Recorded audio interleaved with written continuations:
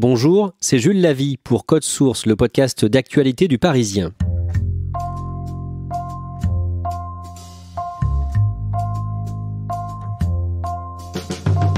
Ségolène Royal est revenue dans l'actualité ces derniers jours. Limogée de sa fonction d'ambassadrice d'épaule, visée par une enquête préliminaire du parquet national financier, elle est soupçonnée d'avoir utilisé les moyens dont elle disposait pour assurer sa propre communication. Mais ce qu'on retient aussi, c'est qu'elle envisage de se présenter à la présidentielle de 2022. Cela peut sembler contradictoire, ça l'est beaucoup moins quand on reprend cette histoire depuis le début. Cet épisode de Code Source est raconté par Nathalie Chuc du service politique du Parisien.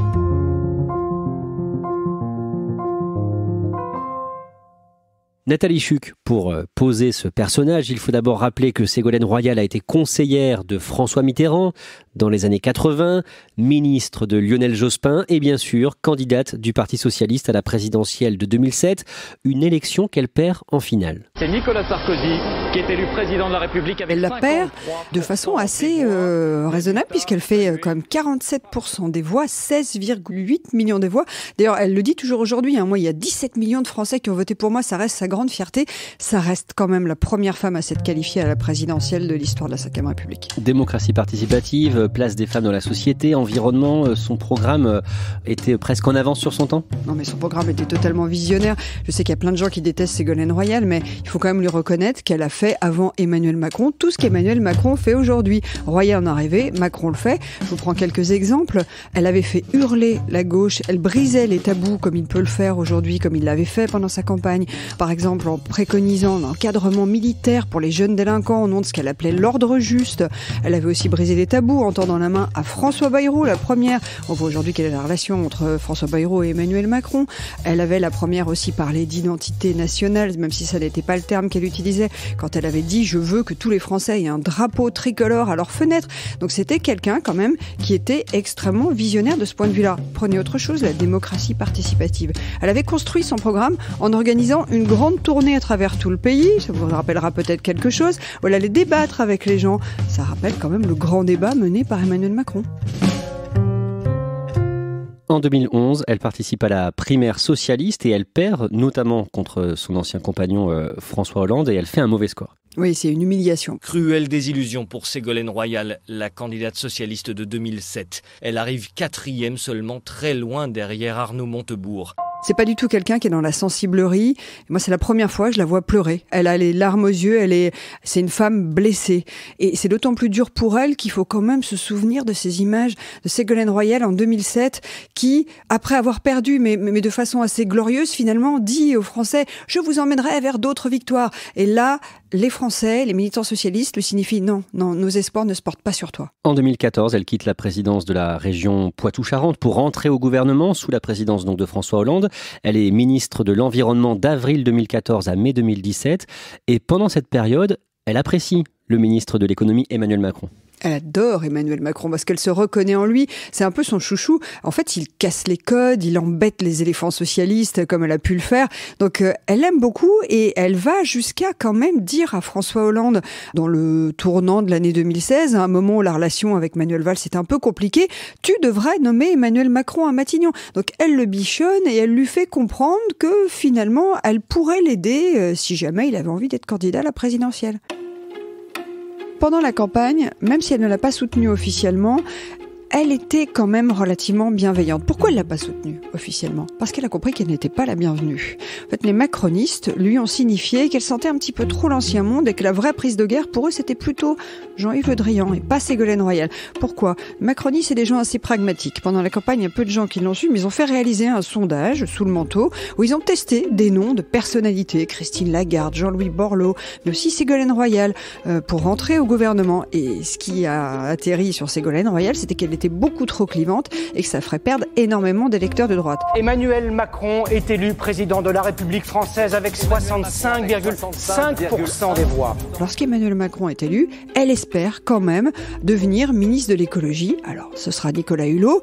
Elle tente quand même quelque chose. Elle propose un deal à Emmanuel Macron. Elle lui dit mais pourquoi pas devenir euh, ta conseillère environnement? Nicolas Hulot, pendant le quinquennat de François Hollande, était le conseiller climat de François Hollande. Il avait un bureau euh, rue de l'Élysée et elle se dit pourquoi pas, c'est ce que je vais proposer à mon tour à Emmanuel Macron, ça ne fonctionne pas. Elle a toujours aussi un autre rêve, pourquoi pas récupérer le Quai d'Orsay Ben non, ce sera pour Jean-Yves Le Drian. En juillet 2017, elle est nommée ambassadrice chargée des pôles. C'est un petit cadeau, c'est un lot de consolation qui lui est donné par Emmanuel Macron, qui sait très bien que ça n'est pas brillant, que ça n'est pas exceptionnel, pourquoi il fait ça le président de la République Pour acheter sa tranquillité. Il sait très bien qu'une Ségolène Royal en liberté, c'est une Ségolène Royal qui peut potentiellement lui provoquer des problèmes, donc il lui donne un petit sucre, passez-moi l'expression, euh, pour qu'il se taise. C'était Michel Rocard qui était là avant et le poste était vacant, c'est ça? Michel Rocard occupait ce poste. Il aimait beaucoup cette fonction et pour autant, lui-même parlait de strapontin. Pourquoi? Parce que ce poste, il s'agit en fait d'aller représenter la France dans ce qu'on appelle le Conseil de l'Arctique. Conseil de l'Arctique, c'est une instance diplomatique euh, où on pourrait penser que la voix de la France est prépondérante, mais pas du tout. En fait, la France, elle n'est qu'observatrice, donc elle n'a pas voix au chapitre, elle n'a pas une voix décisionnelle. Donc il s'agit d'aller représenter le pays, mais en fait sans avoir vraiment de pouvoir de décision. Donc Finalement, Ségolène Royal euh, va très vite se rendre compte qu'elle n'a pas très envie euh, d'aller s'embêter avec ça. Concrètement, ça lui donne droit à quoi? Ça lui donne droit à un bureau dans une des antennes du Quai d'Orsay qui se trouve rue de la Convention. Donc euh, elle retrouve un peu indirectement les ors de la République. Ça lui donne droit aussi à des collaborateurs, 3 à 4, et à une enveloppe de frais attention, il ne faut pas confondre, c'est pas une rémunération. Ségolène Royal, elle est ambassadrice thématique non rémunérée. Et mais par contre, elle a droit à une enveloppe de frais qui peut se monter jusqu'à environ 100 000 euros. Alors elle dit qu'elle n'a dépensé chaque année que la moitié.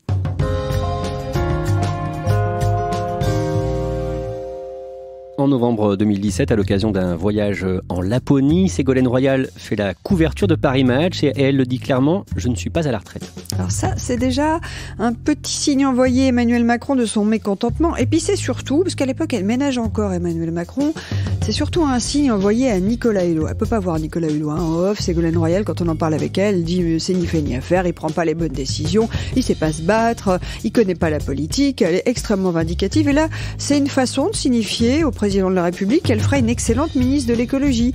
Alors, elle organise euh, effectivement la Pony, cette fantastique opération de communication où on la voit avec son bonnet sur la tête en train de faire chauffer des saucisses dans un feu. On la voit sur un traîneau. C'est une opération de com rondement menée. En avril 2018, elle lance euh, sa fondation Désir d'avenir pour la planète.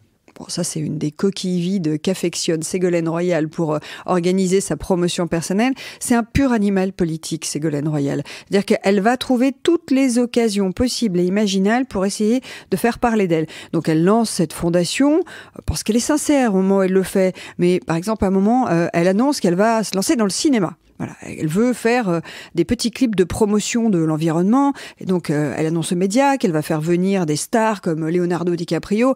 Au final, il se passe absolument rien de tout ça. Il n'y a jamais de clip qui voit le jour, sauf euh, d'une école municipale, je crois, de l'Ardèche. Enfin bon, bref, tout ça finit en pétard mouillé.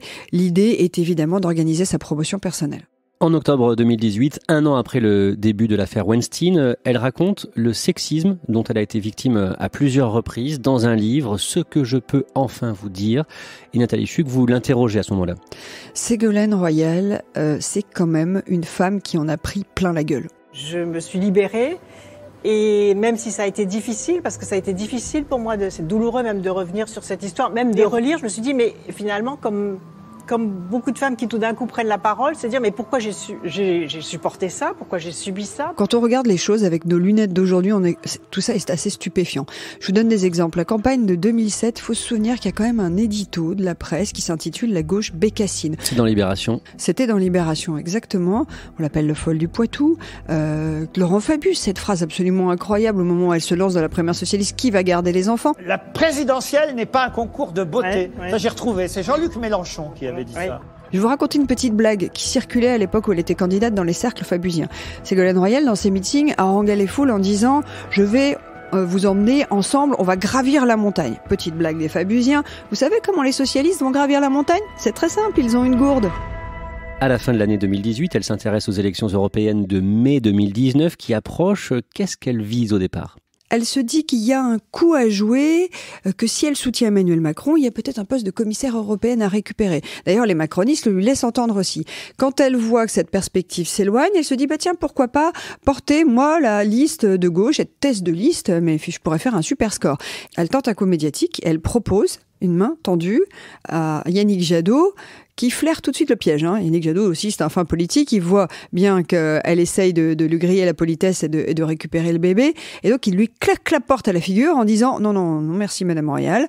Donc, c'est lui qui finit par porter la liste de gauche. Et Ségolène Royal s'en va un peu piteusement. Et à ce moment-là, laisse entendre qu'elle voit d'un œil plutôt favorable la liste Renaissance conduite par les macronistes. Et elle se dit ouvertement euh, satisfaite de la lettre euh, d'Emmanuel Macron aux Européens, une tribune euh, qui évoque plusieurs sujets, dont l'environnement. Oui, alors comme elle a compris qu'elle ne pourrait pas mener une liste de gauche, elle essaye de se rapprocher un petit peu du camp Macron. Je trouve ce texte à la fois bienvenu euh, rassembleur et imaginatif. Elle euh, adresse effectivement un satisfait en disant euh, l'idée d'une banque pour le climat, c'est une excellente idée, et puis cette liste Renaissance, elle est plutôt bien conduite. en vérité, ça n'est pas vraiment le fond de toutes ces propositions qui l'intéressent, c'est qu'elle voit bien qu'il y a quelque chose à tenter, puisque la France va avoir un poste à la Commission européenne à récupérer. Dans le contexte actuel, finalement, la, la voix d'Emmanuel Macron est la seule aujourd'hui à reprendre le flambeau du leadership européen. Elle laisse entendre qu'en échange échange de son soutien, bah, elle pourrait obtenir quelque chose.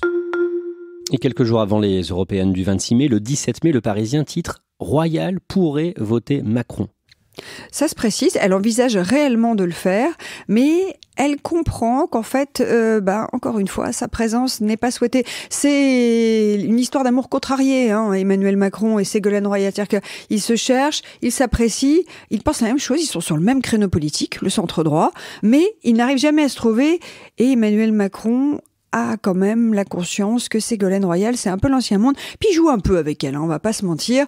Euh, Ségolène Royal, c'est un peu un otage dans la relation contrariée, compliquée entre Emmanuel Macron et François Hollande. C'est une façon de dire à François Hollande qu'il déteste, on va, se dire les choses très franchement. Euh, bah, je peux très bien récupérer dans mon giron ton ancienne campagne. C'est un jeu un petit peu pervers aussi parfois de la part du chef de l'État. Résultat des européennes, la liste Rassemblement national arrive en tête, euh, juste devant celle de la République en marche, qui récolte 23 sièges chacune. Que se passe-t-il pour Ségolène Royal après le scrutin?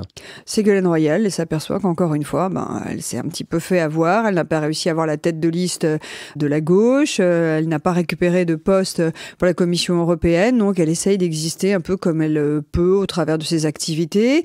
Et puis, elle commence aussi euh, à pousser les boîtes sérieusement contre Emmanuel Macron. C'est-à-dire que dès la crise des Gilets jaunes, elle a senti un peu l'odeur de la bête blessée. Elle a senti qu'Emmanuel Macron commençait à plonger dans les sondages. C'est quelqu'un, on peut pas lui enlever ça, qui a du pif, qui sent le pays. Et elle voit que dans le pays, la cote d'amour du chef de l'État a plongé sérieusement dans le rouge et commence à émerger dans sa tête l'idée que, ben, 2022, pourquoi pas.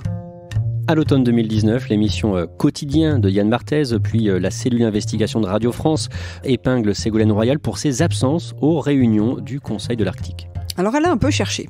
Euh, elle est un soir chez Laurent Ruquier, dans On n'est pas couché, et elle vante ses participations au Conseil de l'Arctique. Qu'est-ce que je dis au nom de la France dans ce qu'on appelle le Conseil de l'Arctique? C'est de tirer l'attention sur les conséquences du dérèglement climatique. Plusieurs membres du Conseil de l'Arctique font savoir à la presse qu'en fait, euh, elle n'est pas très souvent là pour ne pas dire jamais. Euh, du coup, il commence à y avoir des enquêtes de presse. les gens s'aperçoivent qu'elle assume ses fonctions de façon assez dilettante. Je vous reproche beaucoup en ce moment de ne pas être allé aux réunions du Conseil de l'Arctique. Ah bon? Oui. Où est-ce que vous avez vu ça? J'ai vu dans plein de papiers. Vous êtes très mal informé pour une bonne journaliste. elle, elle se défend assez mollement, de façon assez vaseuse. Elle dit d'abord c'est une fake news, puis ensuite elle dit non mais je fais attention à mon bilan carbone, puis je suis pas obligée d'être à toutes les réunions, je suis représentée. Puis ensuite il y a Quotidien qui révèle quand même qu'elle s'est rendue en jet privé en Islande pour euh, inaugurer un paquebot de luxe. Hein. On sait que les paquebots ça pollue quand même considérablement. Pourquoi vous êtes allé en jet privé? Inaugurer un paquebot de croisière de luxe en Islande en été 2018 Absolument pas. Je sais pas où vous avez vu ça. Bah là, regardez. Sur les photos là. L'inauguration du La Pérouse, de la compagnie. Oui, et alors, en Islande ça. En Islande, mais c'est pas auprès de la, auprès de l'État, contrairement à ce que vous insinuez. Non, mais un jet, ça pollue pas mal quand même, non? Non. Aller-retour en 24 Elle est prise vraiment en, flagrant délit de, de mensonge et de contradiction.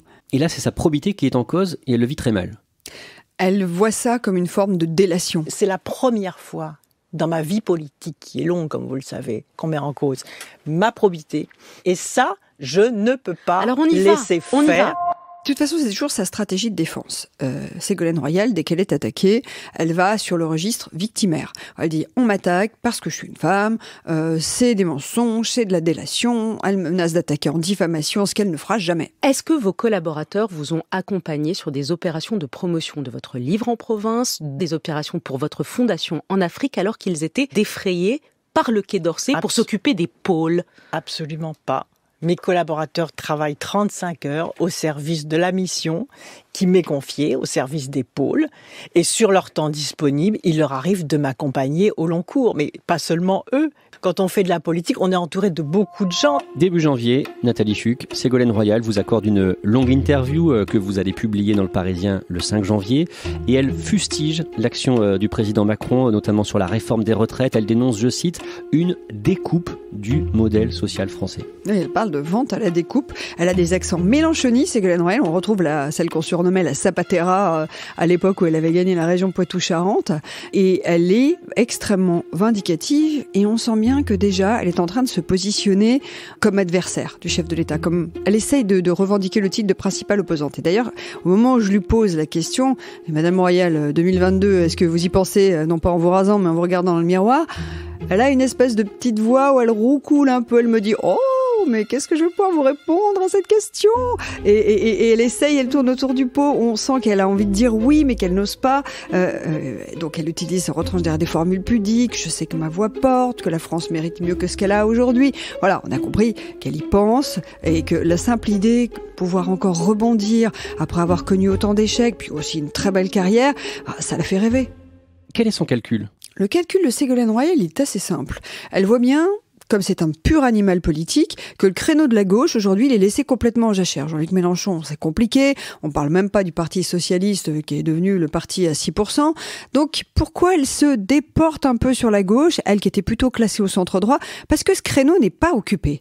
Et elle essaye un peu de manger la laine sur le dos de Yannick Jadot. Tandis qu'Emmanuel Macron, lui, il est quand même sur un créneau très droite, centre-droit. Donc elle voit bien qu'il y a un espace à occuper et en pur animal politique, elle se dit, ce créneau-là, il est pour moi. Le lundi 13 janvier, Nathalie Chuc, vous apprenez que le ministère des Affaires étrangères lui annonce par courrier qu'elle va être suspendue si elle ne respecte pas son devoir de réserve. Alors je récupère une indiscrétion effectivement euh, lundi soir relativement tard euh, où j'apprends que après lui avoir déjà envoyé ce qu'on ne savait pas plusieurs courriers de sommation et de rappel à l'ordre lui disant un ambassadeur est tenu au devoir de réserve, Ségolène Royal, huit jours plus tôt environ, a reçu un courrier beaucoup plus vindicatif émanant du secrétaire général du Quai d'Orsay. Donc c'est une décision qui est forcément tamponnée par le ministre Jean-Yves Le Drian et nécessairement par le président de la République. Que dit ce courrier?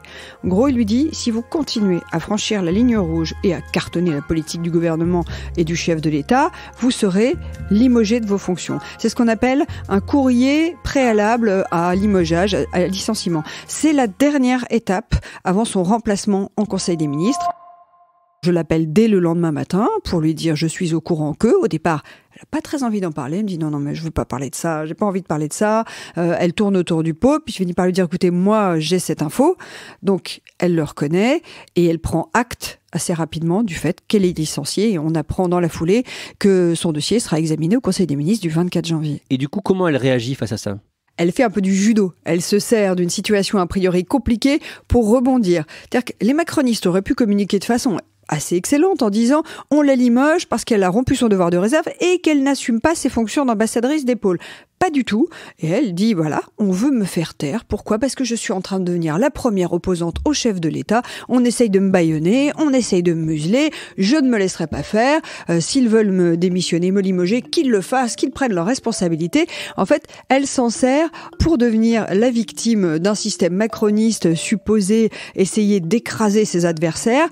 Euh, le rouleau compresseur Ségolène Royal s'est remis en marche. Et le lendemain, le mardi 14 janvier, donc le Parisien fait son fait du jour sur ce sujet. Du coup, ça la place un peu au, centre de l'attention? Mais totalement, parce que du coup, on se dit, est-ce qu'on essaye de la faire taire ou pas de la faire taire? Puis il se trouve qu'on apprend le jour même où on publie ce fait du jour que le parquet national financier a ouvert une enquête préliminaire sur sa mission ou d'éventuelles malversations euh, dans le cadre de sa mission d'ambassadrice thématique chargée des pôles, qui a eu lieu deux mois plus tôt, l'ouverture de cette enquête. Donc du coup, je pense que dans les esprits complotistes, il y en a beaucoup dans cette période, on se dit, bon, on apprend la veille qu'elle est limogée de ses fonctions, le lendemain qu'il y a l'ouverture d'une enquête préliminaire. Euh, donc pour elle, quelque part, c'est presque un coup de communication idéal, même si personne n'a envie de se retrouver dans les griffes de la justice. Elle la première, mais au fond, elle passe pour une victime du système. RTL Soir, 18h17, l'interview d'actualité de RTL Soir. Thomas, vous recevez ce soir Ségolène Royal. Bonsoir Ségolène Royal. Bonsoir. Comment dois-je vous présenter euh, ambassadrice d'épaule, ex-ambassadrice d'épaule, future ex-ambassadrice d'épaule en passe d'être renvoyée? Vous en êtes où ce soir, Ségolène Royal? Bah, j'ai quitté, euh, j'ai quitté ce poste puisqu'on m'en a limogé. Hier soir, je recevais ici même dans, RTL Soir l'avocat Jean-Pierre Mignard. Et il disait que l'on veut vous faire taire. Qui veut vous faire taire, Ségolène Royal? Vous savez, dans la mesure où je suis ciblée, euh, je ne peux pas, moi, euh, rentrer dans ces considérations politiciennes, même si je, personne n'est dupe de, de ce qui se passe. Est-ce que ces derniers développements risquent de l'empêcher de pouvoir se présenter en 2022 le tribunal médiatique, c'est pas la même chose que la justice. Ségolène Royal maîtrise parfaitement les codes de la communication. Elle sait se défendre de façon parfois assez. Euh, il peut lui arriver de mentir un petit peu pour dire les choses. Euh, dans les médias, ça peut passer, et encore, c'est de plus en plus compliqué.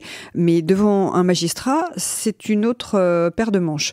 Donc, il est certain que sa éventuelle candidature à la présidentielle de 2022, on est encore quand même très très loin de l'échéance.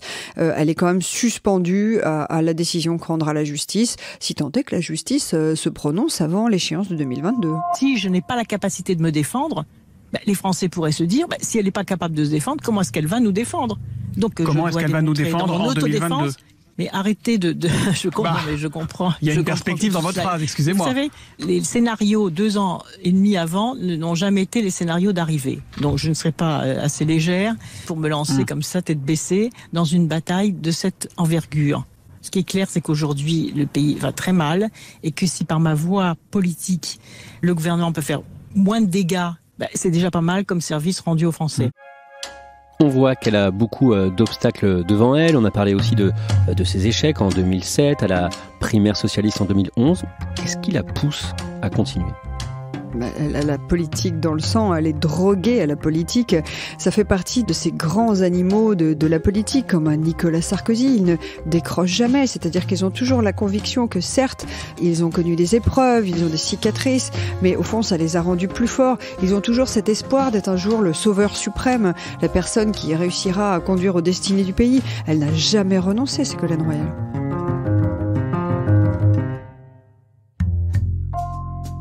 Merci à Nathalie Chuc.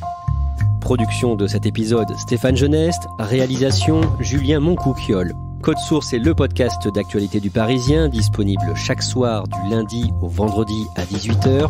Si vous aimez Code Source, n'oubliez pas de vous abonner gratuitement bien sûr sur votre application de podcast comme Apple Podcast ou Podcast Addict vous pouvez aussi nous mettre euh, des petites étoiles et puis n'hésitez pas à nous envoyer vos commentaires directement code source at leparisien.fr.